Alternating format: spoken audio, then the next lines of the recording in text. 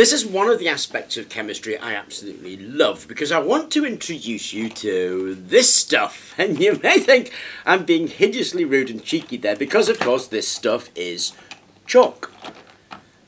Chalk, it's just calcium carbonate, can be found ev everywhere and anywhere. It's chalk, uh, it's also seashells, it's limestone, it's coral reefs actually. And I, I actually went down to Asda for this, so I haven't destroyed a coral reef for it. But you find this stuff just everywhere. And even like this, it's got a thousand uses. But this is actually one of those magical miracle things that are almost proof of God because it is so useful. How can anything so useful exist if there weren't a creator to create it? It's one of the most amazing things that we have around us that we just take for granted and basically ignore. Because if we heat this up, this will turn into calcium oxide, more commonly known as quicklime. And like that, it's used for loads of things. It's used uh, to keep your homes dry, it's used as a plaster, it's used as a mortar, it can be used in concretes, uh, it's a fertilizer. You'll have put lime fertilizer on your garden. It's not quite the same stuff, but it was quicklime that was the fertilizer until the 1930s, 1940s. So it's an astonishing material with a million uses that is absolutely everywhere.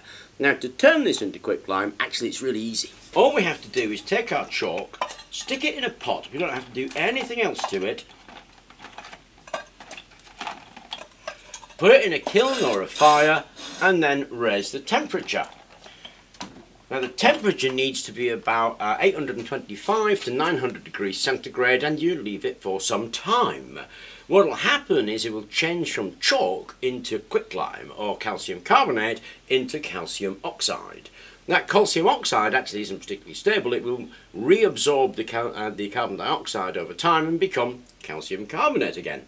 But while it's in that calcium oxide form, we can then start to use it for some really interesting things. So all we have to do is set that temperature and leave it for a bit. The bit you leave it for depends on how much you've bunged in there, but you can test it easily to see if the conversion have happened, and we'll talk about that in a minute. What we're going to do is turn this on, set the temperature, and then leave it for a couple of hours. Once you've left it for a bit, let it cool down and ground it into powder, this is what you get. Now you know that it's converted because it does this. There's my cooked chalk if I take a bit of ordinary tap water give that a second or two. Can you see the steam coming off there?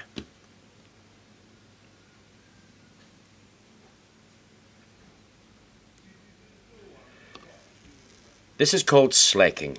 When you add the water, there's such a hot reaction, quite a lot of the water is turned into steam, and that slaking produces a hot reaction. And you can tell you've done enough cooking when you get it to slake afterwards. Okay, so we started with chalk and we cooked it at 825 to 900 degrees centigrade for a bit to make this stuff which is called quicklime or burnt lime.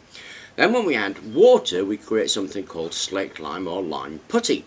Now, this burnt lime, the quick lime, is uh, quite caustic actually because you saw the reaction with water. It reacts with water in your skin, in your lungs, and it will have the same kind of reaction. So you need to be a bit careful with it.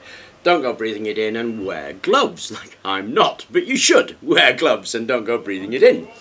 But that quick lime, it's a commodity chemical all in itself. You can buy bags of it if you want, or you can buy chalk or limestone and cook it. Either way, there's a ton of this stuff around and it is a huge, very cheap commodity chemical that's produced in the millions of tons and has been since prehistory. This has been uh, known about for at least the last three, four thousand years at least. Now I'm interested in it because of that really strong reaction that we just saw. It is astonishingly exothermic.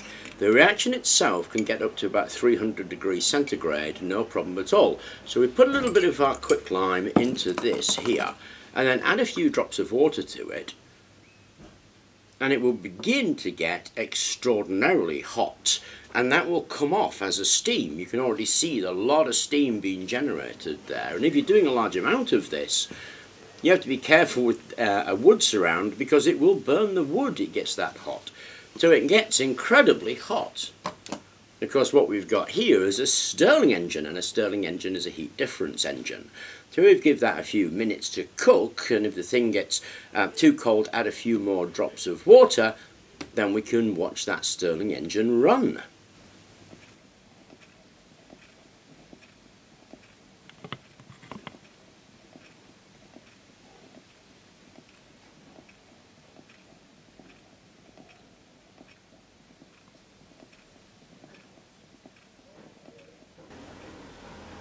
Okay, that does get incredibly hot, incidentally. It gives out about 6.7 kilojoules per 50 grams, and it was thought that it helped decomposition of bodies. It doesn't, it withdraws the water and actually preserves the body, but it is an alkali, so you do have to take appropriate care with it, like say, gloves and don't breathe the stuff in.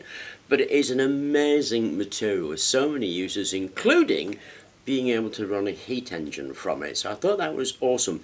So though when you make it, you drive off carbon dioxide, once this is finished with its reaction and the heat isn't generated as enough, to get that back, all we have to do is heat it again to drive off the water, and then we get straight back to our calcium oxide or our quicklime. So an amazingly useful stuff that could be part of a circle.